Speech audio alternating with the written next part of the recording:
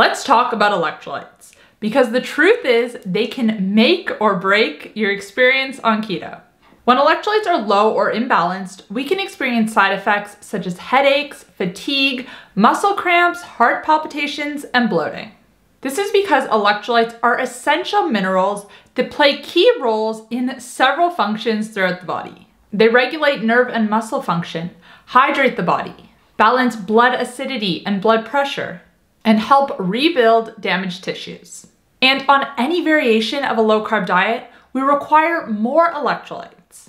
Because when we limit carbs in our diet, our insulin drops. And this is a good thing, especially if you're trying to reverse insulin resistance, type 2 diabetes, or PCOS, or even just balance your blood sugar and lose weight. But our kidneys excrete more sodium when insulin is low. And this disrupts other electrolytes, including potassium, magnesium, and calcium as well. So in today's video, we are going to be going over the four main electrolytes. We're going to be talking about why they're important, signs you're not getting enough, and how much of each you should be consuming.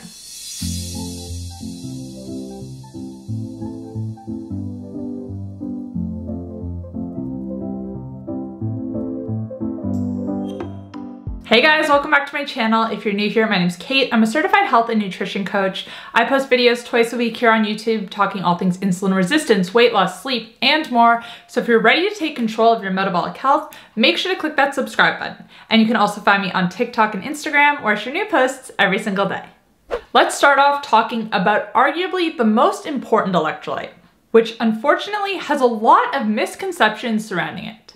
And that electrolyte is sodium. Sodium is essential for the contraction of muscles, with the largest and most important muscle being the heart. If you're experiencing heart palpitations on a keto diet, I would definitely take a look at your sodium intake. Other signs of low sodium include headaches, fatigue, low blood pressure, and trouble focusing. Now, it's important to distinguish the difference between sodium and salt because I think this throws a lot of people off when they're trying to figure out how much they're consuming. Salt is made up of sodium and chloride. So this means that one gram of salt is not equal to one gram of sodium. In reality, there's a bit under 400 milligrams of sodium in one gram of salt, which means you might be consuming less than half as much as you thought you were. So how much should we be aiming for in a day? The general population needs between three to six grams. But as I already said, when we're eating a low carb or ketogenic diet, we need more. Five grams is a good place to start if you're relatively sedentary. That's equal to about two and a quarter teaspoons of salt. Now, exercise and physical activity will increase your need for sodium more because we do lose it through our sweat. And also, if you live in a hot climate, you're gonna need more as well. So if you're active, seven grams is usually a good place to start, which is roughly three teaspoons of salt. You can get a little bit of sodium through food, but it's pretty difficult if you're sticking to a mainly whole foods keto diet, which is why using a high quality salt on your food and salting your water is important. Now, before we go any further, I just wanna clear up a misconception, and that misconception is that salt and sodium causes hypertension. This isn't true. 90% of hypertension cases are a side effect of insulin resistance. Yes, salt can trigger a temporary increase in blood pressure, but so does exercise. A temporary increase is not a bad thing. I have a whole video that goes more into debunking this myth and talking about the root cause of hypertension, which I will link above if you want to know more. But just know that sodium is very important on low carb diets. And if you're experiencing any of the side effects we spoke about earlier, fatigue, headaches, muscle cramps, heart palpitations, these are signs you're not getting enough. Now, as I said, salting your food and adding salt to your water is important, but I also wanna highlight Sodii's Everyday Hydration Salts. This is a well-rounded electrolyte supplement that has been specifically formulated for low-carb diets.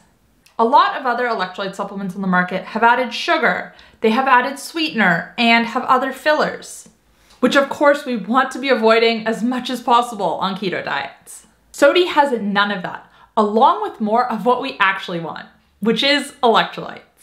If you want to check them out, you can head to hckait.com forward slash SODII. I'll put the link in the description box down below as well. And you can use code KAIT15 to save 15% off your order. Because honestly, if you've just started keto and you're experiencing any of the side effects that are commonly labeled as the keto flu, oftentimes these come down to an electrolyte imbalance. So supplementing can help.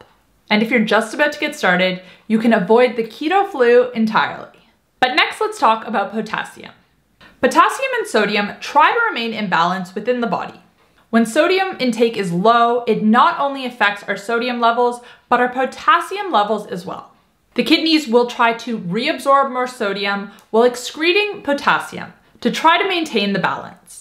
Signs of a potassium deficiency are muscle cramping, muscle twitching, and heart palpitations. On the keto diet, you require between 3 to 5 grams of potassium in a day. This is easier to get from food than sodium is. Some good sources include avocados, bacon, bone broth, and salmon.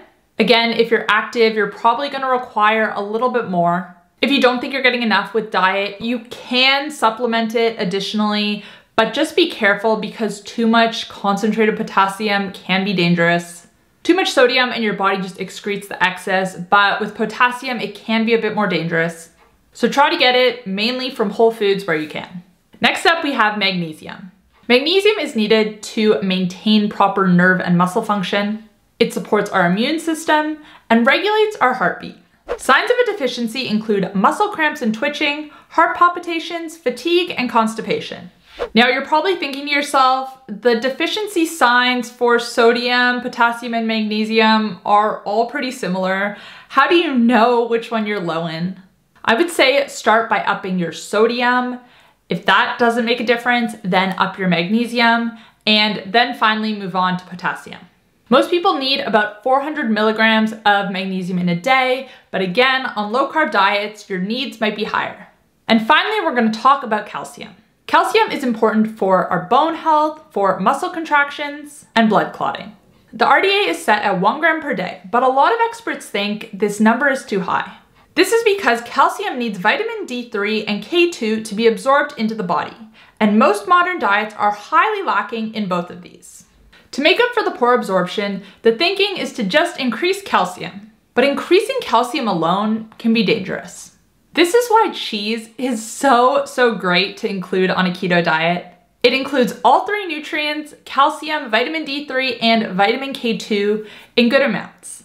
Now, before we wrap up, one final thing I want to say is that another sign of an electrolyte imbalance can be cravings. So if that's something that you're struggling with on keto, then really look at your electrolyte intake and your sodium intake especially.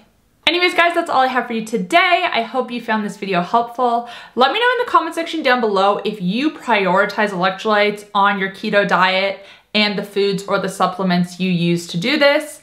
I'm also gonna link Sodii's Everyday Hydration Salt in the description box down below, so make sure to check them out. If you did enjoy this video, you might also enjoy my video on the 20 best foods to eat on a keto diet. You can check it out here. If you wanna catch up on my most recent upload, you can find it here. And if you wanna check out my coaching programs, including my seven day keto crash course, which comes with a sample shopping list and meal plan, you can find that here. Thanks guys, I'll see you next time. Bye.